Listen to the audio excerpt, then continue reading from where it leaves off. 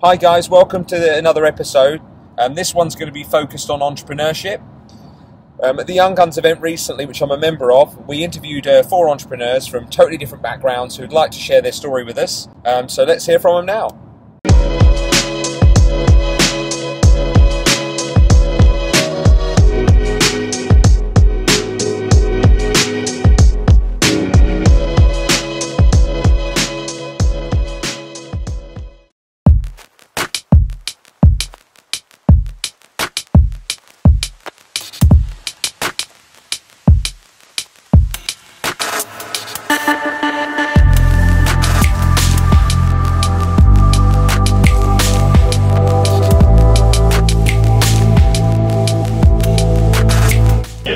I'm Megan Dunsby. I'm features and news editor of Growing Business, and we run the Young Guns Awards. And we're here today to celebrate the best entrepreneurs behind 30 fast growth businesses. So we're at Kensington Roof Gardens today. So you'll see there's live flamingos walking around. We've got a three course a luncheon.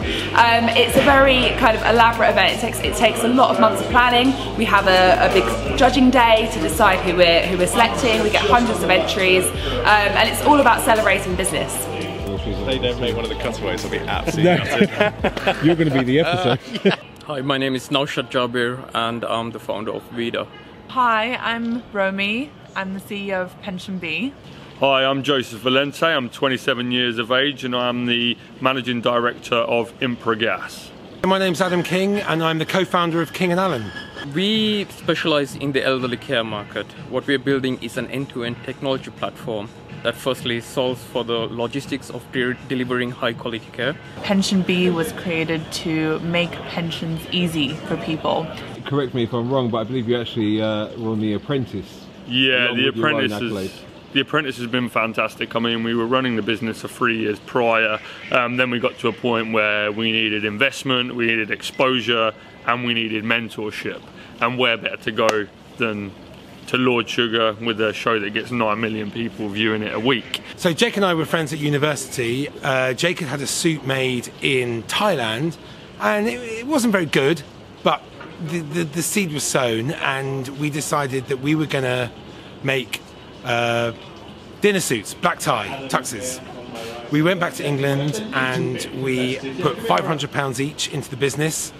With that £500, uh, we bought a laptop and a black cab, a London black cab that we rebranded as the Tuxie. I'd never actually worn a suit, neither had Jake, so we were really doing it on personality and business acumen. So I worked at an investment firm named Hambro Perks where I helped uh, launch three other businesses.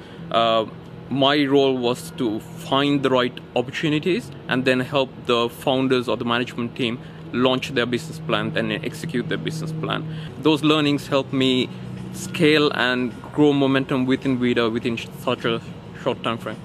So, my background is in pretty traditional corporate finance, and I did most of my time at Goldman Sachs and Morgan Stanley. As an entrepreneur, for me, things never move quickly enough.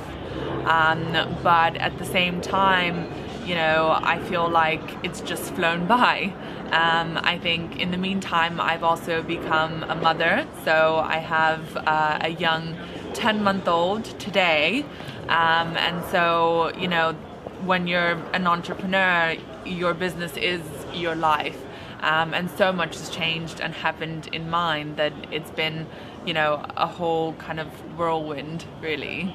I think when I started in business, I started as an engineer that was hungry with an ambition to change an industry. As time goes on and as you develop and as you learn, I mean, especially being around Lord Sugar and having that presence and having to level up to meet that presence's expectation is something that's changed me not only as a businessman but you know as an individual and it's helped me grow from strength to strength I studied English at university. Um, I had no entrepreneurial experience. The word didn't really exist in uh, 2003 when we started the company. I attend a lot of these events with Jacyn, and we've spoken before that predominantly it's it's a very male populated um, kind of circuit. Um, I think that initially people are surprised um, to see a woman running a pension company. Uh, but I do think that we're living in a new day and age uh, where being a woman is seen as a big strength. Um, and I'm excited to be promoting a female run business because I think that people who use financial services products uh, are diverse. Um, and so, if you don't have diversity within your company, how on earth are you going to make, you know, products that are good for all the people who want to buy them? Um, so I see it as a strength, uh, but I'm very conscious of the fact that I'm often the only person um, at an event who is of the opposite sex. So, you know, I, I think there's a long way to go, but I think the tide has turned. I got I auditioned to be in a TV show. Um, it was a Guinness World Record attempt to. This is ridiculous, but it was to break the world record for continuously watching television. Uh, and it was very kind of X Factor style. I had to stand in front of a, a, a panel of people and persuade them that I was capable of continuously watching TV for 48 hours. I managed to win and I won £10,000. And with that money, I decided I would travel the world looking for uh, a, a, business or a, a, a, service or a product rather that didn't exist in the UK. I went into being a plumbing apprentice. I went through the natural progression of becoming qualified at 18, gas engineer by 19. Um, and then at 22, I'd been an engineer for a little while. I wanted to get off the tools. I wanted to do something special, build a business, build a business. Um, got Lord Sugar's autobiography from Christmas at that time. My mum got me it, and I read that book cover to cover. And what it did was it flicked a switch inside me and gave me clear direction because I knew what I wanted to do, but I didn't know how to do it and I saw how one man from a council estate in London was able to achieve billionaire status in one lifetime. So after I finished the book, literally two days later, I applied for a £15,000 loan um, on Tesco Bank website, had it in my bank two days later, quit my job and launched Impragas.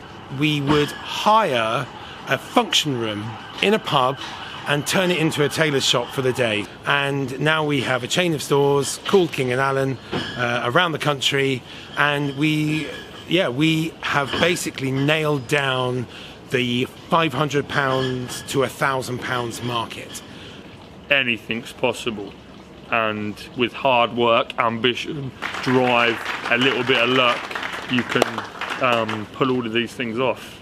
There's been a huge amount of work that's been going on behind the scenes from across my organisation, and I think everyone's kind of pulled in together today to make sure that you know all runs to time and very seamlessly, and um, I think it's it's been a success.